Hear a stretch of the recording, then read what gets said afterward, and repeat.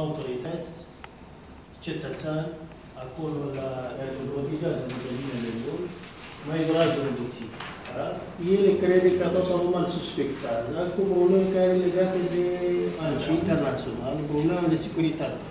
Eu e, și drepturile mele și jurnalist cunoscut din Breslau, eu am fost oprit la, la timp. Cum să am avut, am și o explicare.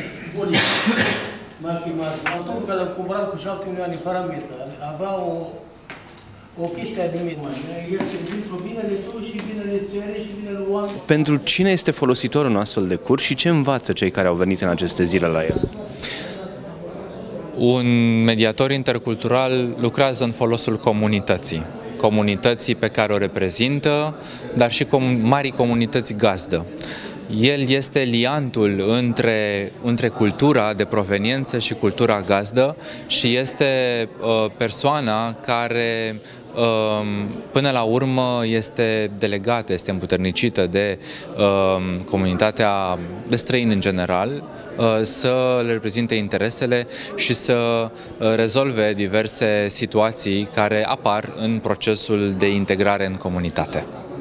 Spuneți-ne care sunt, câte persoane sunt aproximativ la acest moment refugiate sau azilante aici, în Constanța, și care s-au adresat dumneavoastră.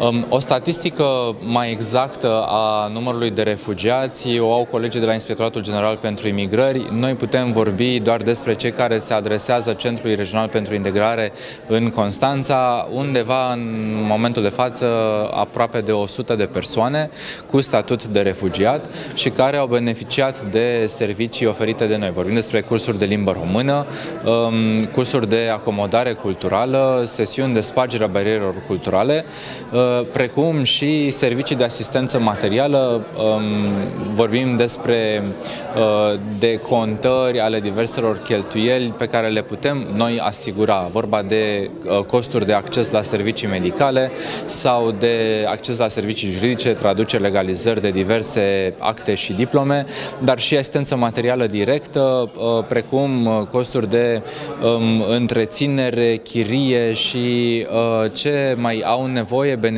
noștri, refugiați, uh, dar și cetățenii ai statelor terțe într-o formă de vulnerabilitate.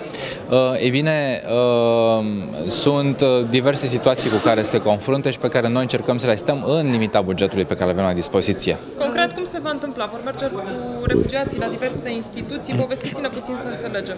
Într-adevăr, un mediator intercultural poate acționa în mai multe feluri, poate merge, de exemplu, cu refugiați sau cu migranți, pentru că ei reprezintă nu numai uh, persoane cu calitatea de refugiat, la uh, instituții publice uh, pentru a facilita rezolvarea diverselor probleme. De exemplu, uh, pot uh, merge la uh, primărie pentru uh, a înscrie uh, familia uh, pentru alocația de stat pentru copii. Avem un caz mai devreme. Exact. Acest caz poate fi uh, rezolvat inclusiv prin intervenția sau prin ajutorul oferit uh, de către un astfel de mediator intercultural. Vă rog foarte mult să ne spuneți din ce țări vin uh, acești refugiați, mai ales acum în ultima perioadă am văzut aici marea majoritate din Siria. Într-adevăr, uh, marea majoritate a refugiaților care sunt prezenți în Constanța provin din Siria, dar aceasta nu este singura țară de proveniență. Mai sunt și din uh, uh Yemen, din uh, Irak, mai avem, sunt uh, țări care în prezent se, uh, se confruntă cu conflicte și uh, iată aceste persoane au aplicat pentru statutul, au, au cerut azil politic în România uh, sau azil în România și au primit primit această formă de protecție um, care are până la urmă un statut temporar. Ne gândim că nimeni nu este uh, cel mai bucuros să, să-și părăsească țara um, care este măcinată de, de conflict um, și să, se, uh, să fie găzduit temporar într-o țară cu o cultură până la urmă diferită de cea a țării de proveniență. Spuneți că acest mediator vor primi la schimb și ei niște beneficii? E vorba de 2000 de lei, spuneți um, La mediatorii interculturali uh, sunt într-adevăr stimulați în cadrul acestui proiect. Este mai degrabă un, un mic stimulent decât un, un beneficiu material pentru că uh, vorbim de uh, o sumă de aproximativ 2500 de lei pe care o primesc pentru activitatea lor pe tot întregul proiectului, adică până în luna mai anului 2017. și valoarea totală a proiectului? Proiectul Integrare Plus, care se derulează, spuneam, pe toată regiunea 2, are o valoare de un milion și jumătate de lei. Eu am experiența ca mediator intercultural chiar din anul 2010, când a fost uh, lansat acest proiect Migrant în România și a fost pregătit o rețea de 22 de uh, mediatori intercultural să reprezintă în uh, cele cinci orașe în, al României, să reprezintă comunitatea de, de străini.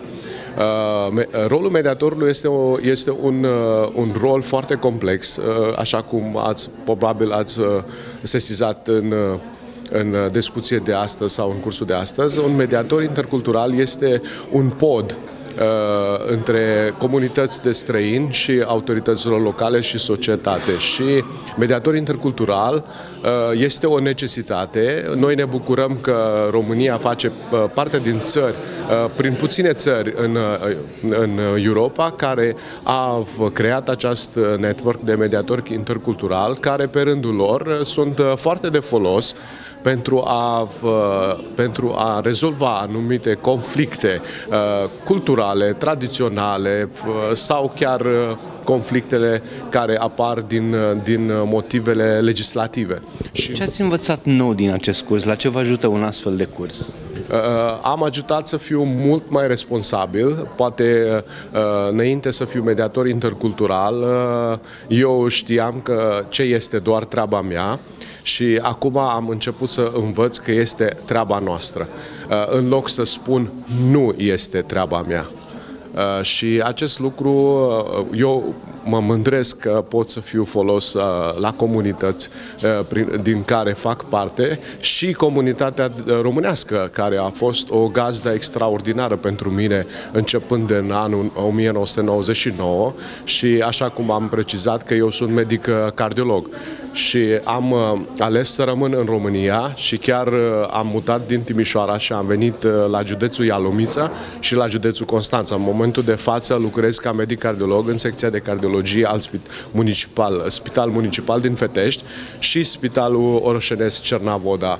Eu cred asta este un mod de a răsplată pentru, pentru societatea românească care uh, mi-a găzduit atâția ani, uh, m-a uh, oferit șansa de a deveni un profesionist în domeniul medical, în cardiologie și acum este rândul meu să să-l dau înapoi ceea ce am dobândit prin dascălii mei, prin profesor, profesorii mei și ceea ce mi-a oferit societatea românească. Acum am venit în ajutorul lor. Care sunt probleme? Probleme sunt referitor la schimburile legislative, care sunt hotărârile luate, probabil, fără să fie implicați și reprezentanți. Refugiații se confruntă în momente de față cu economie, pentru că ei vin cu cu uh, gândurile că ei o, ei o să beneficieze de anumite servicii care sunt oferite de țările vestice europene, adică ca și cum în Germania sau în Danemarca și în Suedia. Și atunci pentru ei primul șoc este în momentul în care ei văd că nu se poate fi, uh, nu se poate fi ajutați financiar ca și în alte țări.